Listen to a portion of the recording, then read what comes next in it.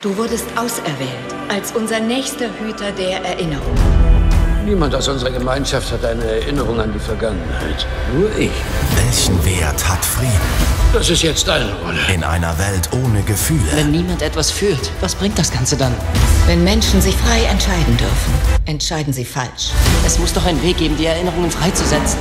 Die Free TV Premiere. Hüter der Erinnerung. The Giver. Freitag, 20.15 Uhr.